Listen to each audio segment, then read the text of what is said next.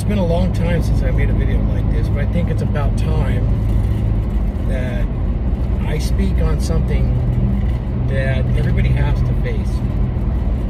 And the solutions are very difficult, but it's easy to easy to at least imagine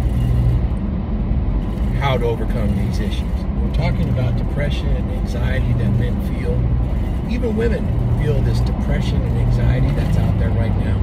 I've had quite a few consults with young men, and I just picked up a few middle-aged women, I would say between 35 and 45, that are facing a lot of overwhelming issues when it comes to just their daily lives, what they feel their purpose is in life, and this spans across both sexes.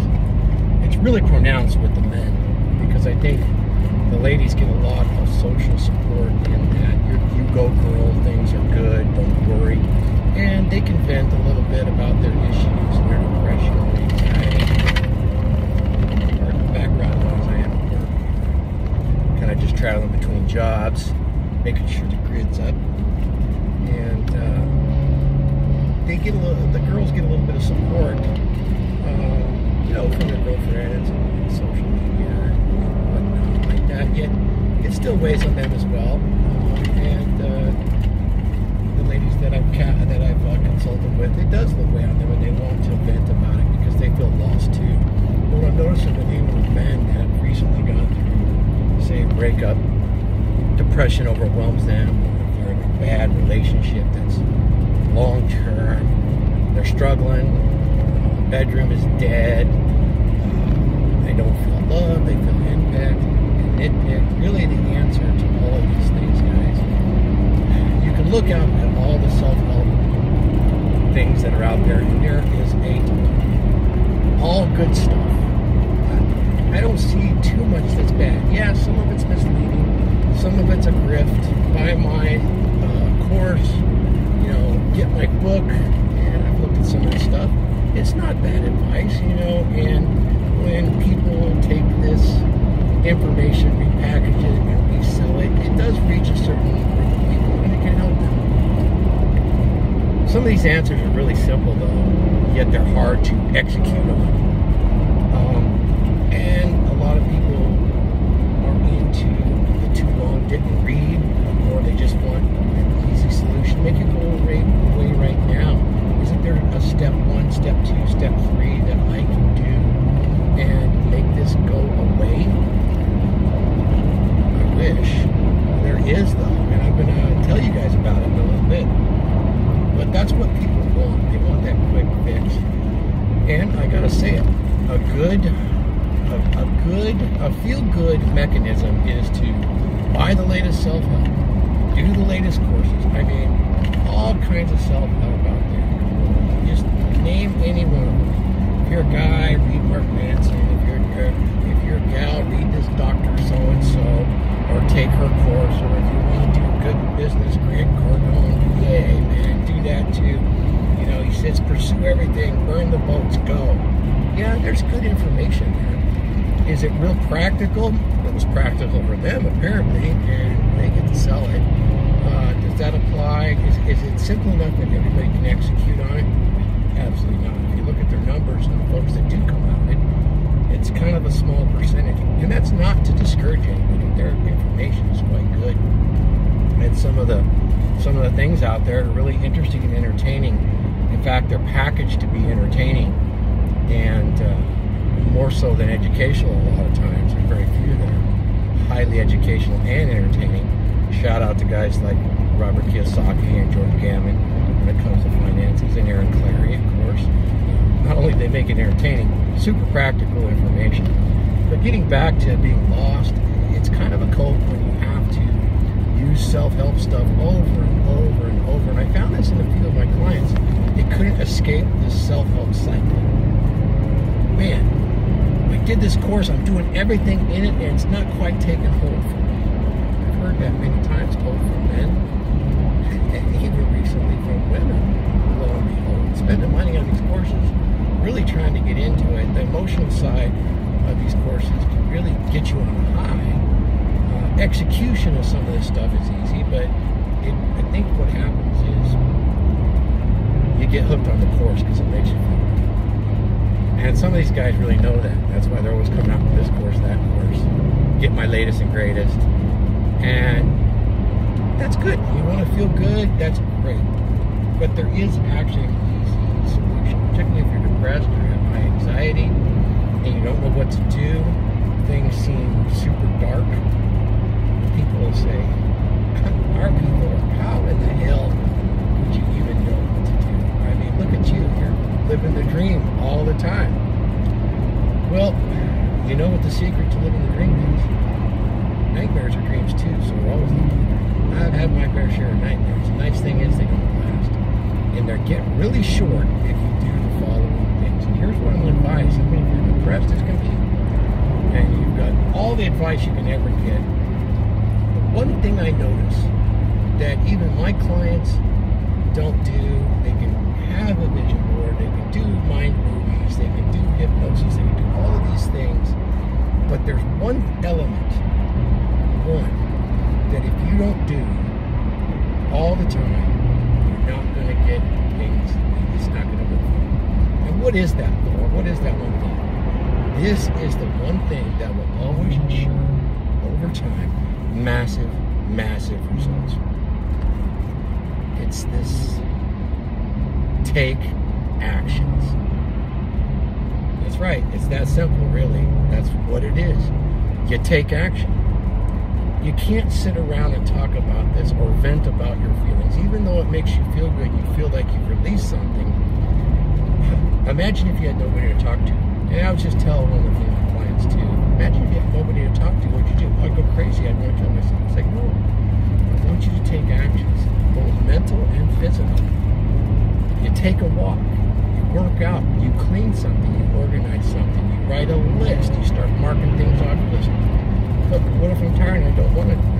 There is no tired. Actions can be taken. Imagine this. Imagine you were a complete paralyzed quadriplegic. There's still actions to be taken. You could speak. You could do something with your mind. Those actions is what makes the difference. Of being trapped in a living hell. You might be trapped in a living hell, but you could still take actions and glimmer of hope. And guess what? Small actions over time result in massive success. Massive. And I know somebody out there is going to say, yeah, well, what if I take the wrong action? That's the problem. I don't know where to start. You guys want to know the secret? I'm the guy, I'm going to give you guys everything. And you don't even have to pay for this. It doesn't matter. Does not matter where you start. Unless you're putting together some fantastic Lego puzzle and it requires a base of certain type of blocks, you don't have to start there. You, you could start anywhere and things will start to naturally fall. You take any action, right, wrong, indifferent. Actions have to be taken at all times. It doesn't matter. Just taking a breath is taking an action. It works. I had this one female client and she just was breathing so shallow and she was crying. And so I just had her take some breaths, take some breaths. And I told her, those are actions. You just make yourself take those actions. She started to get gritty. It's like, okay. But to her, it was silly that I said that. But do you see the power in just doing something that you can control? You control this right here. Even if you're on the spectrum, you still have this. I've seen people on the spectrum that have this, and when they get that glimmer of an action to take, it doesn't matter. Even if they're obsessed with it, just taking action, right, wrong, and different, it doesn't matter. It will sort itself out. You have to take actions. Like I said, unless it's some complex project that requires this step or that step first, then you might want to take it in order. But the reality is, if it's day-to-day living and you lack a purpose, and you feel like everything's crashing down on you, any action will solve that problem over time. Take an action. Whatever it is, go for a walk, change your scenery, talk to somebody new. You know, uh, and here's here's what goes with it. If you're one of those people, I was telling some clients, if you're one of those people that wants to kind of get a bunch of problems off of your kind of off your chest and out in the open so that you don't have to think about it. If you kind of operate that way, fine. Tell yourself in the mirror. See how different that is. Because when you tell yourself in the mirror, that's you. You have to accept all that accountability. What I find a lot of people like to tell other people about their issues, and sometimes they just want somebody to listen, but majority of times they're looking for someone to console them and maybe even offer some advice. And a lot of times they want to defend their laziness and actions. I, see this all the time. Inactions, what I'm saying. They want to defend their, their ability to not take actions. And I guess that's what I'm getting at is when somebody is complaining about all the woes in their life, and I'm listening to them, and I ask them what actions they take, they defend the fact that they haven't taken any actions because of this, because of that. And no matter what those are, I can always break them down into smaller bites. And when you break them into smaller bites that are palatable, those actions count. And they solve your depression, they solve your lack of purpose.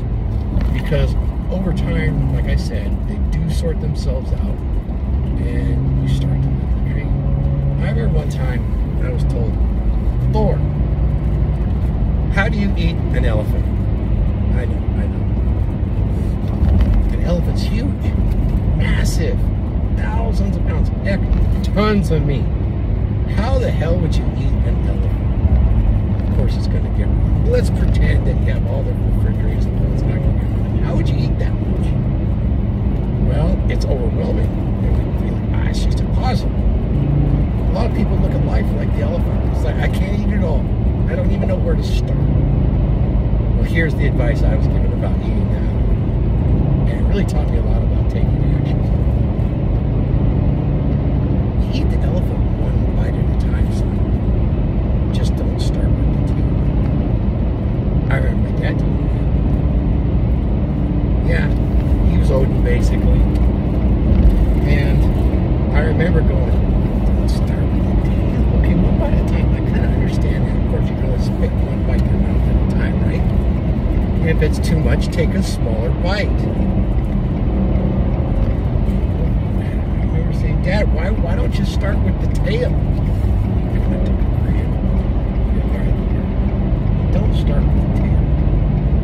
Because it tastes like shit and you'll lose your appetite and then you won't eat them. That's right. So don't don't start with the shitty parts. You know, start with something you can do is what the point of that story was. And take action. You know, I got a book that's going to be coming out. And, well, it's a guide, well, it's a bunch of guide stones and guide steps on why a dominant masculine presence is so important for us to reclaim today's society. It really, really boils down to because of what we've developed in such a our society that's easy, everything's easy, it's easy, pleasure is easy, which is funny because, you know, relationships are not easy. It's splitting us apart. And that's another story. We're being kept apart because we're better together than we are. But aside from that, everything is too easy. And because it's so easy, we don't have to take the actions. Men, you're built for combat. Women, you're built for nurture. Those require actions. Those actions have to be taken in order to have a fulfilling life. You don't need a purpose to have a fulfilling life. And fulfillment is way different than happiness. It transcends happiness. Happiness is generated within you, and it's a feeling. It's a feeling in your body. It comes and goes. You don't need it. It's nice. It's exciting, but you could be happy after you ride a roller coaster. It comes and it goes. Fulfillment is much longer lasting. It, it endures.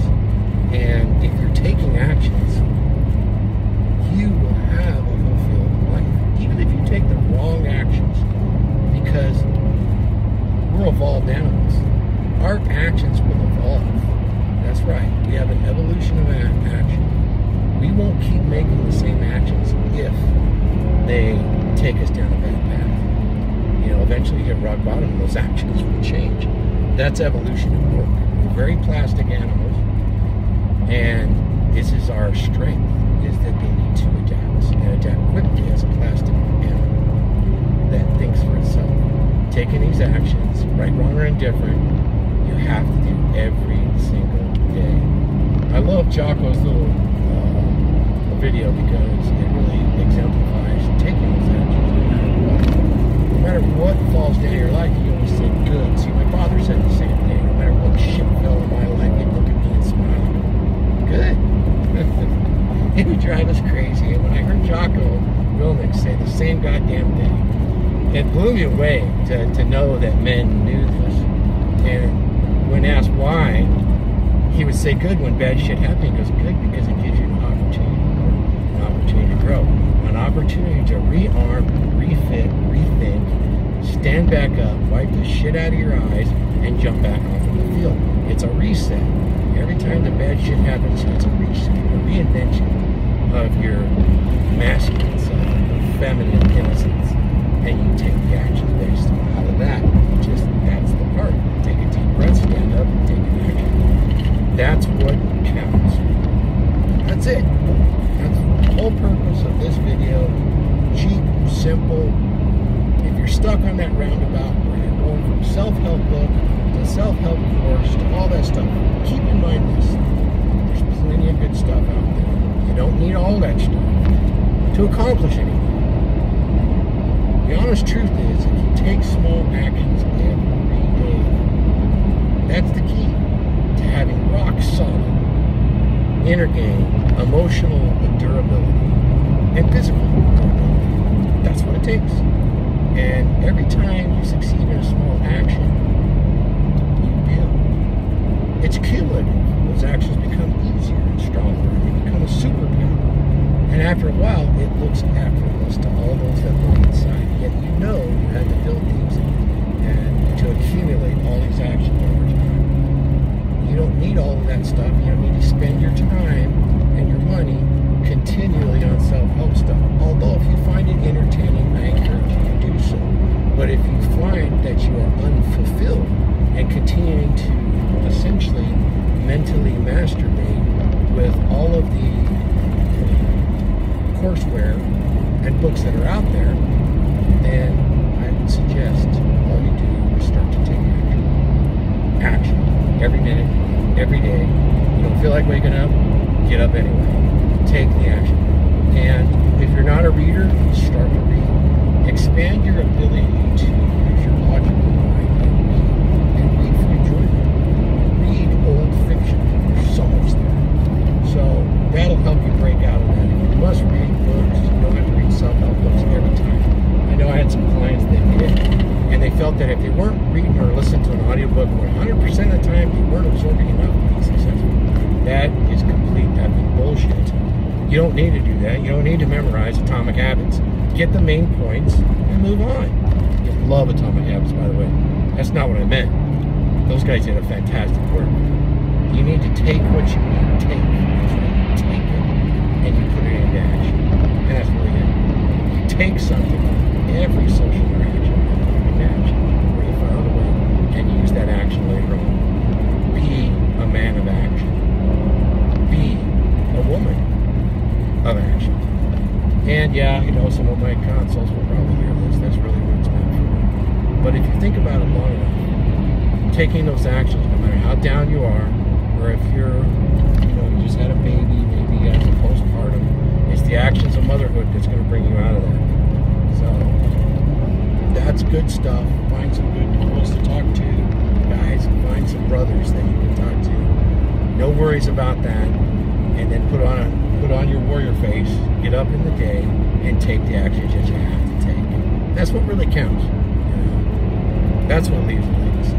Is the actions that you take. So that's all I got for today. Like I said, I don't do this too often, but I figured this one was really important. Hopefully, I'll be able to do an episode in the studio about taking actions and give you guys many more good examples. And if this wasn't enough, of course, you can find me at becomedurable.com.